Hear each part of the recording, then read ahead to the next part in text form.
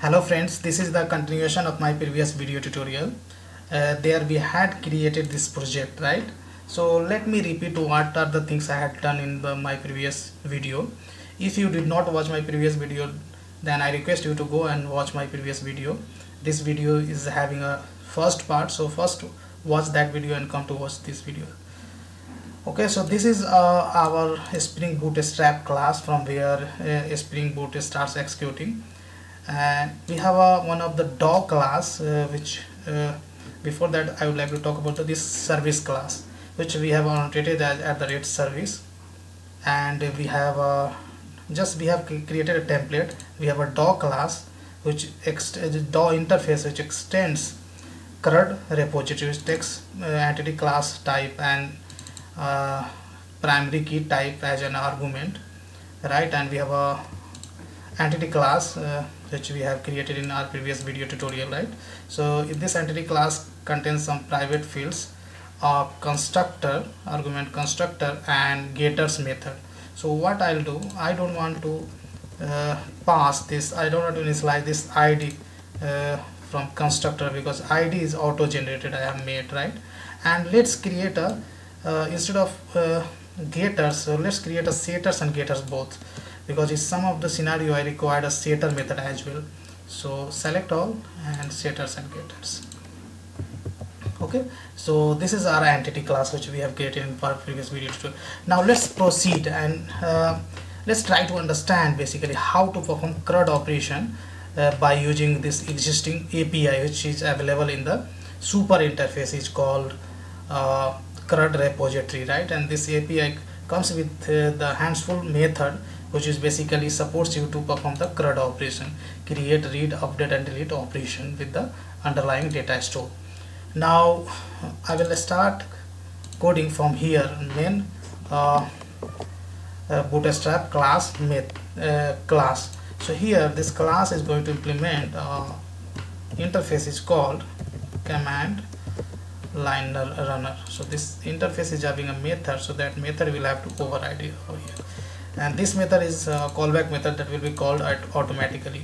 And top of this class I'm going to auto wire my uh, service uh, class. So our service class is called people management service which is annotated as at the rate uh, service.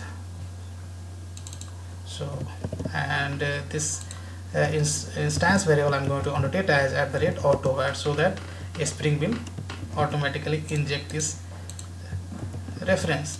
Now this reference we are going to use from here. So let's start with the I would say first method I'm going to cre create person. Person right? Uh, create person method I'm going to uh, so this is the local method. Let's create a method and there I'm going to use this reference. So here I would say again create person and here basically you need to pass the person information. So let's create a person object. So here we have a person person 1 equals to new person and here we need to pass the person information. So first name I'm going to pass Sean.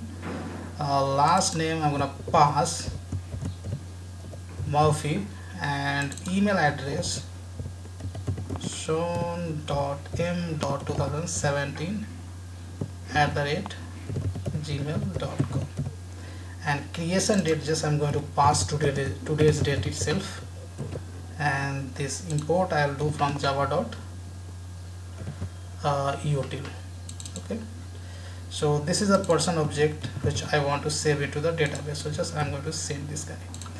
And return type I want person so this API basically saves person information data, uh, database and that will uh, return the person information which is being saved into the database right?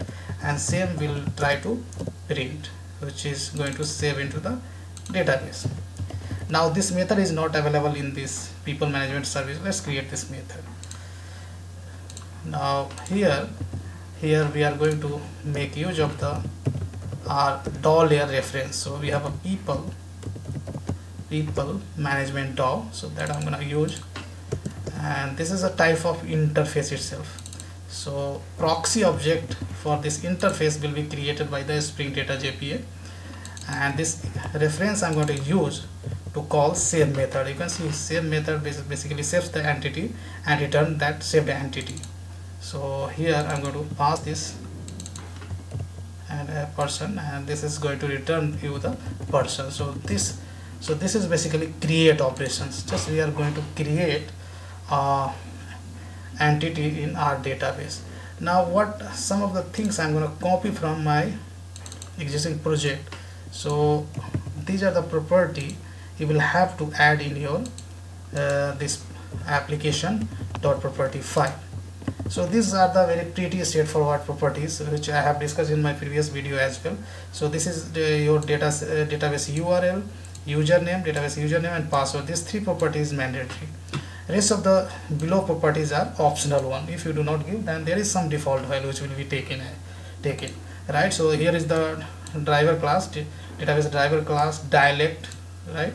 As per your database you need to specify the dialect so that uh, a spring data will generate a SQL query on the fly for you. And that query if you want to see on the console then this flag will have to make true. That's right and if you want to see the generated SQL query in format fashion then format underscore SQL true. And uh, DDL hyphen auto so there are different value for this. Beginning in beginning I'm going to keep as create. So that DDL query we, we can also see, see we can see on the console. So that's all about this property. Now let's run this property. Uh, let this, let's run this class from main method. So here if you look into the here we have a database schema is called spring boot db and this schema i have created in my database. So there is a table a person table already exists right? And here i have given a create as uh, uh, ddl auto value. So existing table will be dropped and recreated. That's the significance of create. So let's start executing this project from main method. Run as a spring boot and here you can see everything on the console right? So here you can see uh, basically uh, there is some error is coming. So what's the error? Okay so there is already uh, fail to execute null pointer exception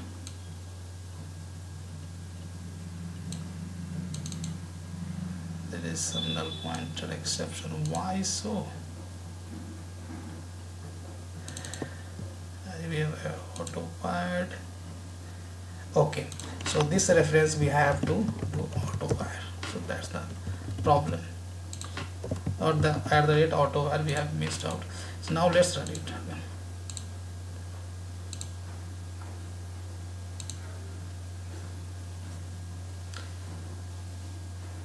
now you can see a spring boot what has done a spring uh, data.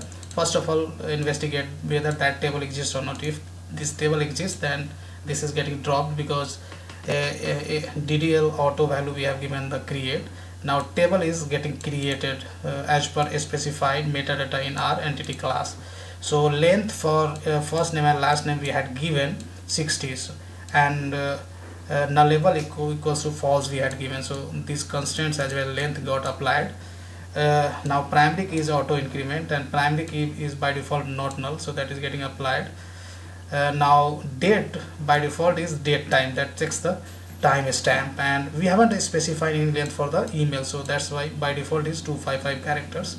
And finally person id is a primary key right? Because person id we have id we have already as at the rate id now uh, table is getting altered because unique constraint we had applied on the email.